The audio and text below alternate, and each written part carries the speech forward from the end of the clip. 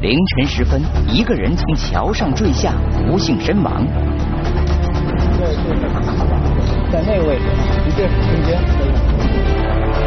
大桥中间存在镂空大缝，酿成悲剧。当时你是怎么翻过去的？我就要不走那个，就给卡过去。他是打倒手的，我是打左手的。今日说法为您播出《坠桥之谜》。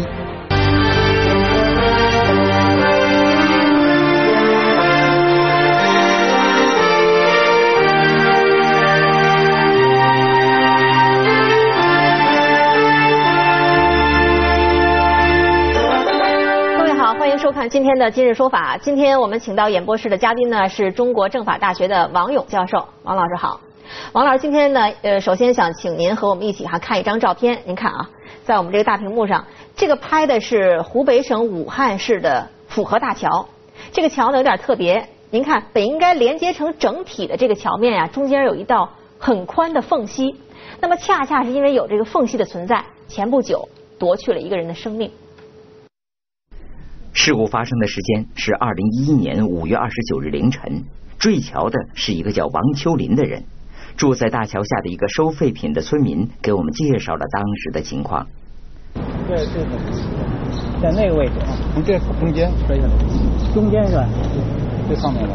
从这这个位置，哎，等于说没有摔到这个河里面，没有，是摔在了这个河岸上了。哎，对。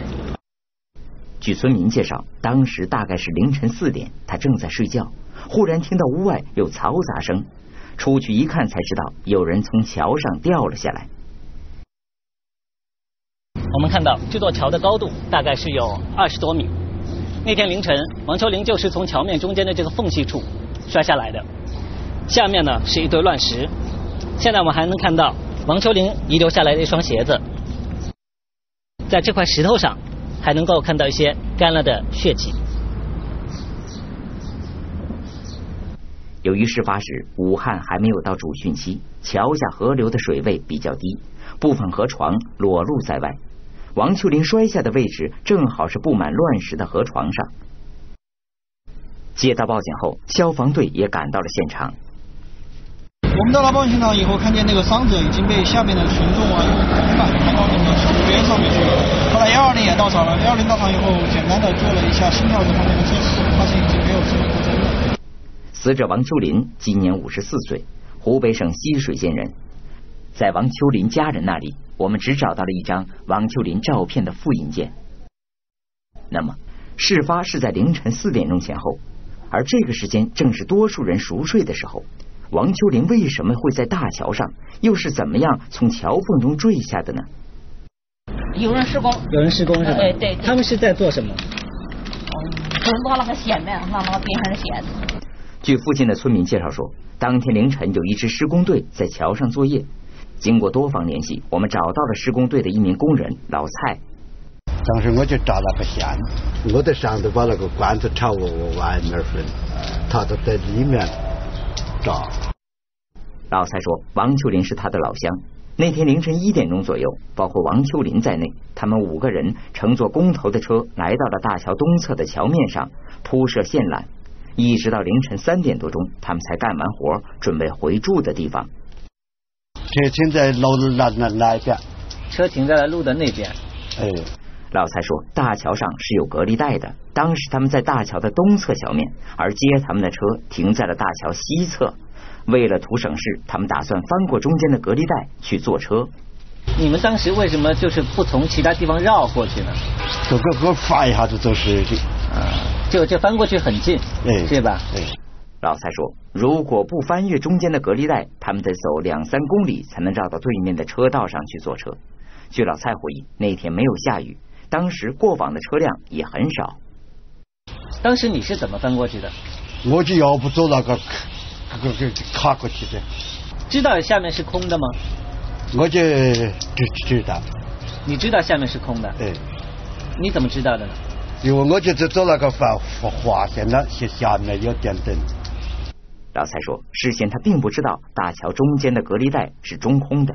后来在翻越隔离带的过程中，他们看到桥底下有一些灯光，才意识到隔离带底下是空的。当时你有提醒其他人吗？说下面是空的。那没有，走我说了，我是他是倒倒数第一，我是倒倒数第二，哪些人追不追到，那我不清楚。嗯。根据老蔡的陈述，当时王秋林走在最后，王秋林究竟怎么掉下去的，没有人看见。后面我就带来本去了，准备上上上车。嗯。他这他这个掉掉个人，他叫我可哪个了？他说王桥那儿。嗯。我中午坐坐坐坐在那里吃的怎怎么着着啥？我只晓得时时间都不妙，因为有二十多米高。嗯。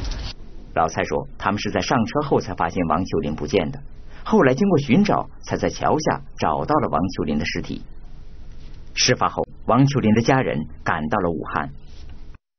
他结婚了吗？没有，没有成家，没有成家吗？就他一个人家。对对对对对。王秋林的大哥说，弟弟王秋林左眼有残疾，虽然年过半百，但一直没有成家。那在家里他还有房子吗？有有有家有家有间屋啊。那平时回去他就在。对对对对对。王家人说，由于是独身，很早以前王秋林就外出打工了，平日里也很少和家里人联系，只有在过年过节的时候才回家。那过年过节呢？他们过节跟他们过过节是在我这点亲戚。嗯。由于平时跟家人联系少，家人也不清楚王秋林在外打工的情况，在家人那里，关于王秋林的情况，甚至只剩下了这张照片的复印件。那么？王秋林平时住在哪，生活的怎么样呢？据老蔡说，王秋林是在一个多月之前经他介绍来武汉打工的，平时就和他一起租住在工地附近的村子里。老蔡说，王秋林为人忠厚老实，平日里除了打工挣钱，没有什么爱好。对于这次王秋林遭遇的意外，他也感到很难过。通过王秋林的家人和老乡的陈述，我们大致了解到了一些王秋林的情况。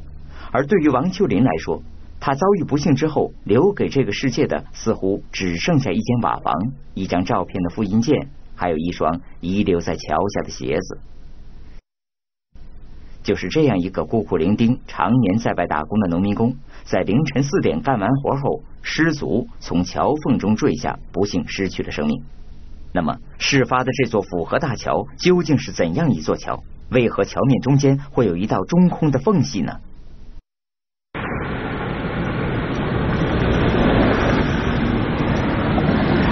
差不多九十厘米。好。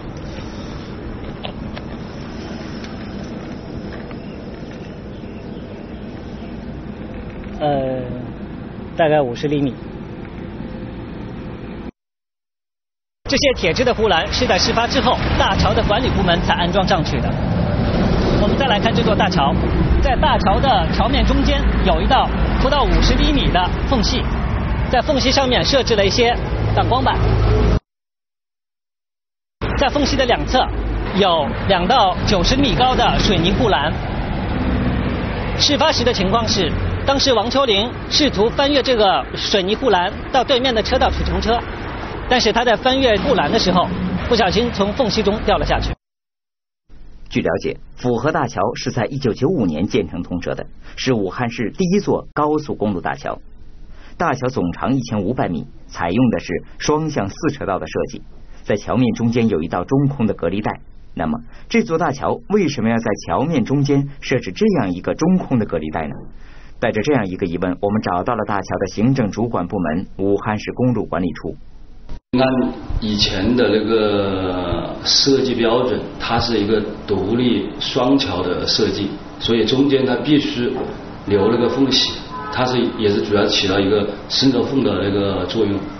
像这样桥很很普遍，现在我们高速公路上啊，包括很多一些道路桥梁都是使用的这这种设计。公路管理处的梅文解释说，府河大桥北端连接汉口，南端连接黄陂。是带黄高速公路的一部分。根据高速公路的设计要求，中间必须设置隔离带。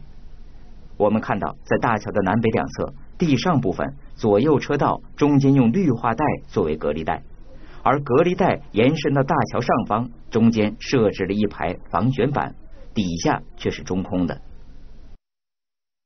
通过我们那个设置那个啊防线和那个护栏的设施，能够就是更警示我们的那个啊试乘人员不要随意的那个翻越这个护栏。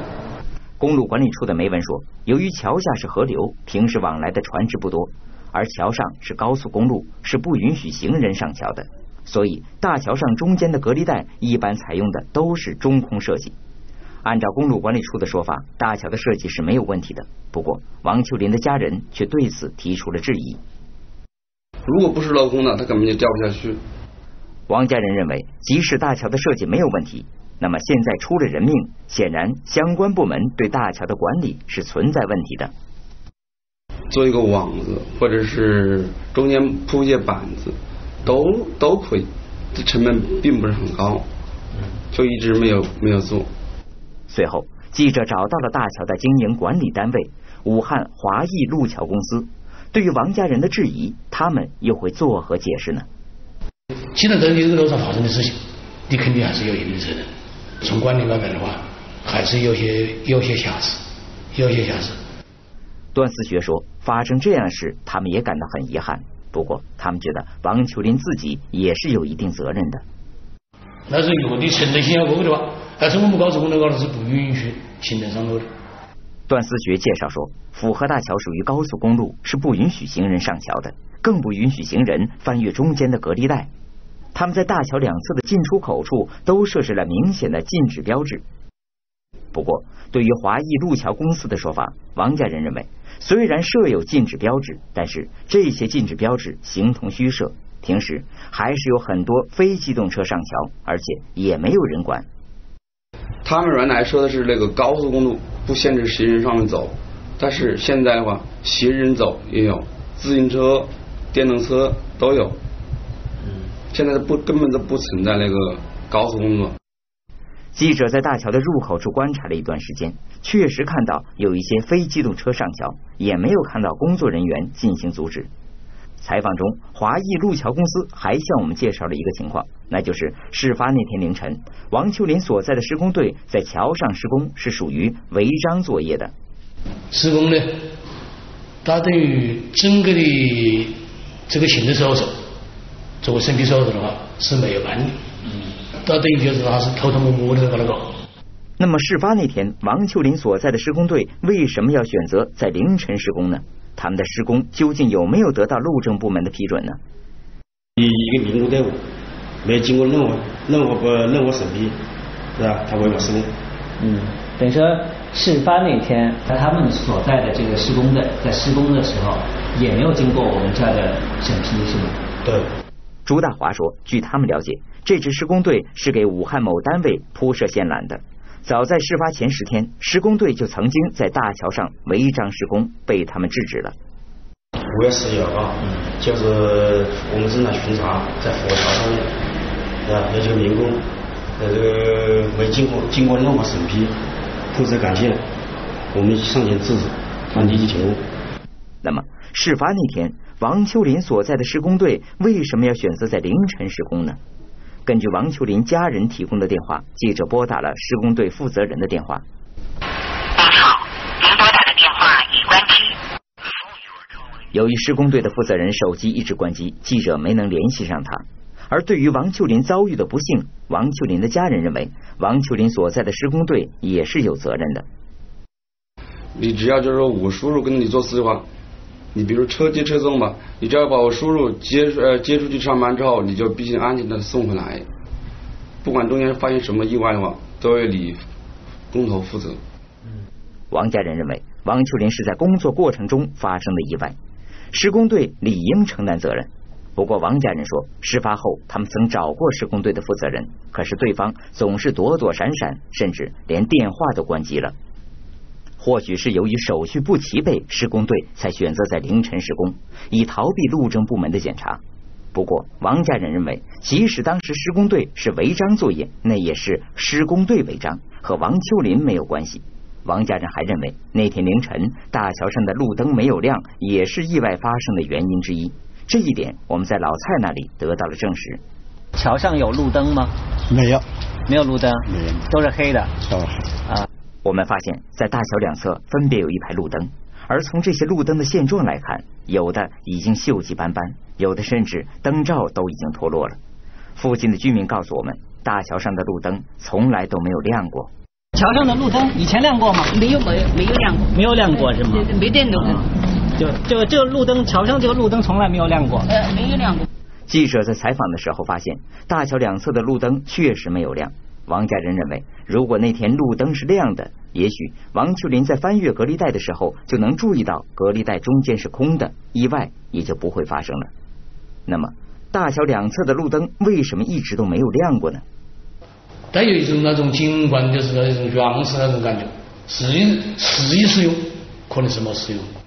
段思学说，高速公路上行驶的是机动车，在夜间都有照明，所以一般情况下，高速公路是不安装路灯的。只有在城市的道路和桥梁上，考虑到行人和非机动车的安全，才需要安装路灯。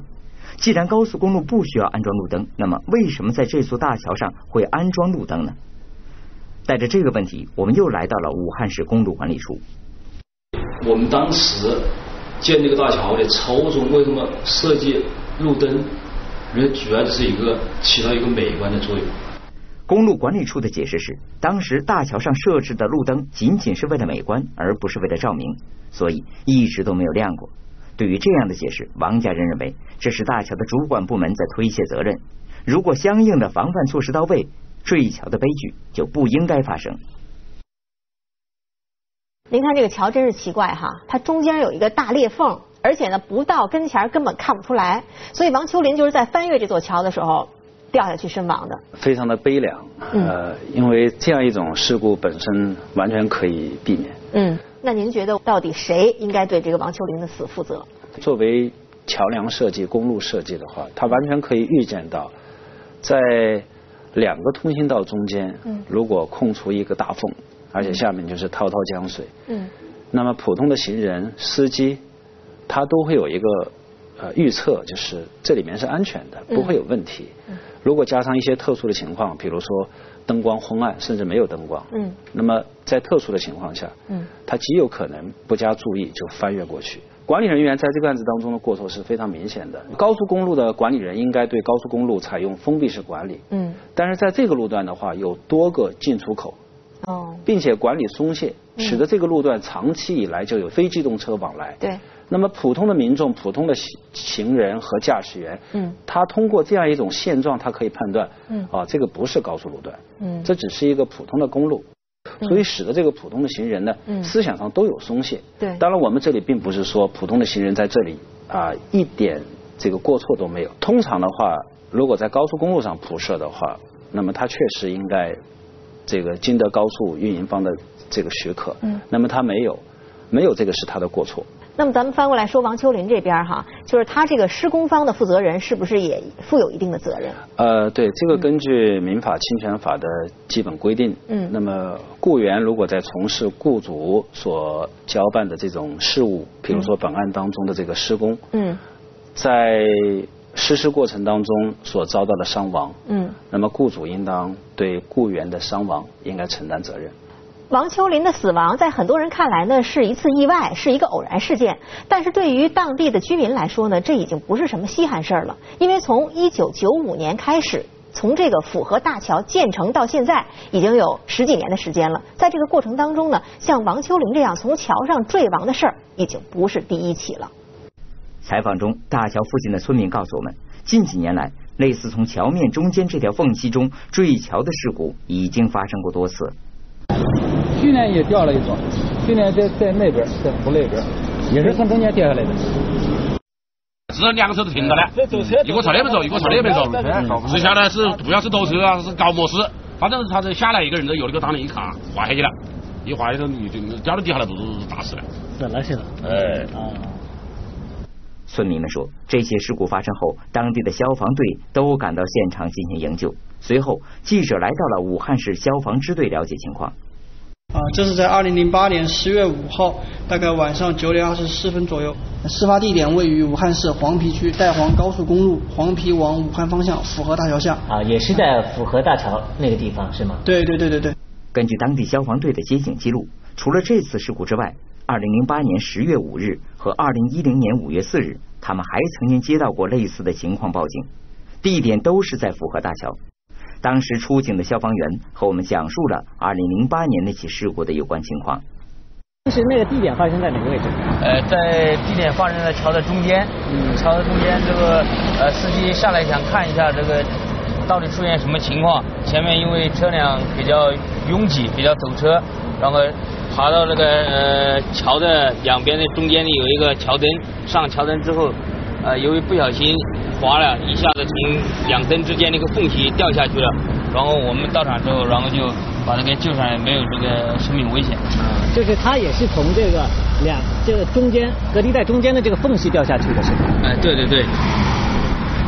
幸运的是，在那次事故中，坠桥的人没有生命危险；而发生在二零一零年的那起事故，坠桥的罗先生却没有那么幸运，年轻的生命因为一条镂空的隔离带而消失了。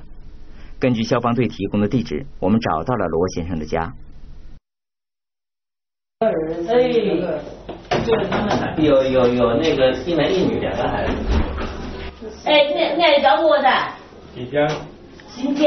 哎，那也不对，那那你那也不对了。啊？那不对了，你是是不是刚移咱们这有那走了，那走了，那走了。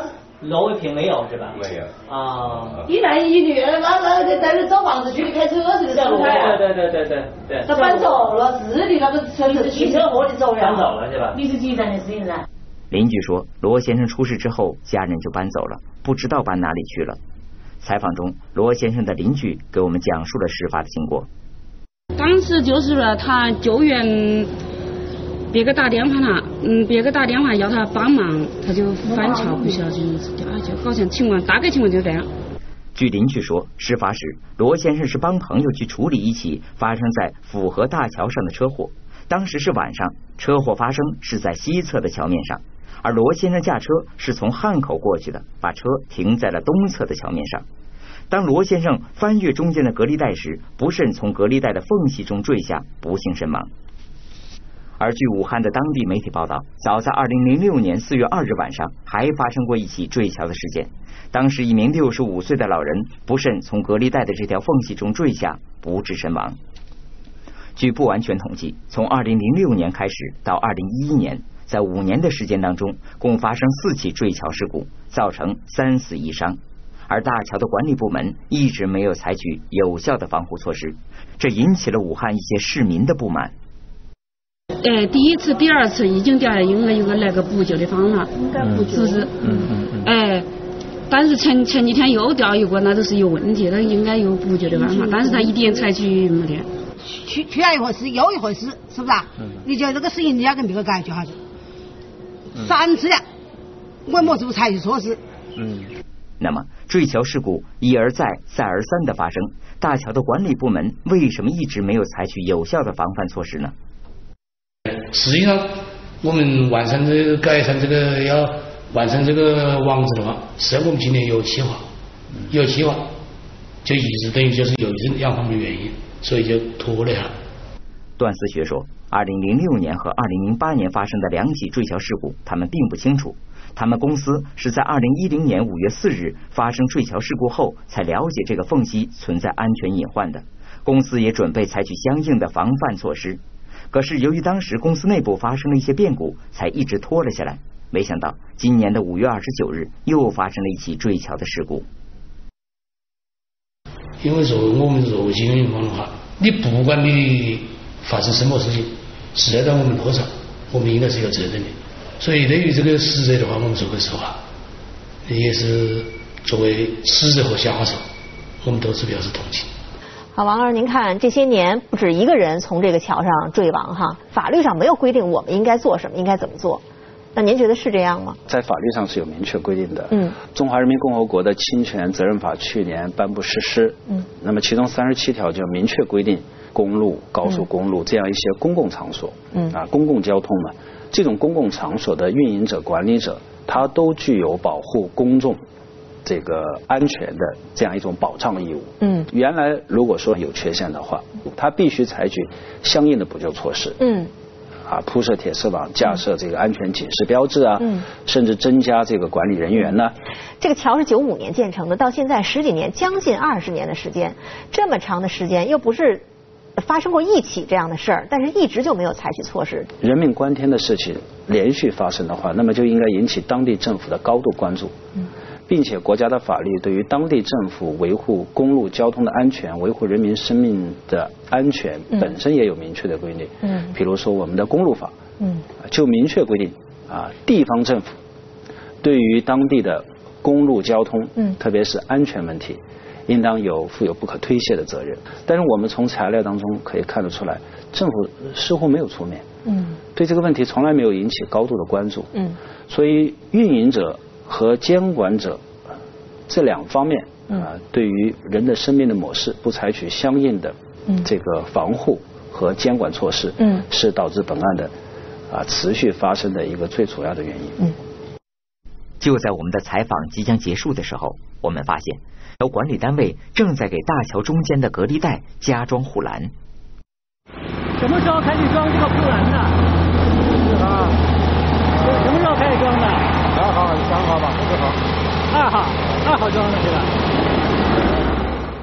据了解，这些铁质护栏高度为一百二十厘米，加上底座九十厘米高的水泥防撞护栏，隔离护栏的总高度为二百一十厘米。希望这些护栏的安装能够杜绝类似悲剧再次上演。而就在我们节目播出之前，王秋林的家人给我们打来的电话说。施工队的负责人已经支付给他们十万元的赔偿款。一座大桥，一条大缝，接二连三的吞噬生命。如果我们能早一些采取防护措施，那根本就不会有悲剧发生。所以说，当一些意外可以避免的时候，请有关方面稍稍的尽一些心。毕竟失去的不是简单的东西，而是无可挽回的生命。好，感谢您收看今天的今日说法，感谢王老师参与今天的讨论，请观众朋友继续关注中央电视台第一套节目综合频道接下来的其他内容，明天见。